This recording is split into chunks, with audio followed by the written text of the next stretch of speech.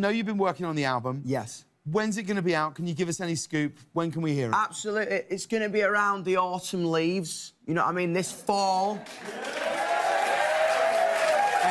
and I'm buzzing, man. It's like, I think, I think it's my third album.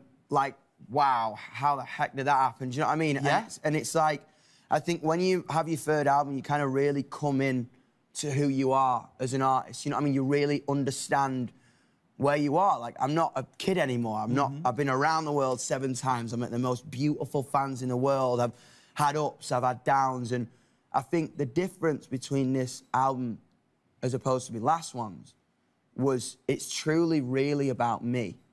Having people say good and bad things, it, it, it isn't this woe is me rock star, like, oh, everyone's been mean to me on the internet kind of thing, but it's like this reincarnation to been back to 15 going, oh, some people don't understand my intentions, don't understand who I really am, and now I'm about to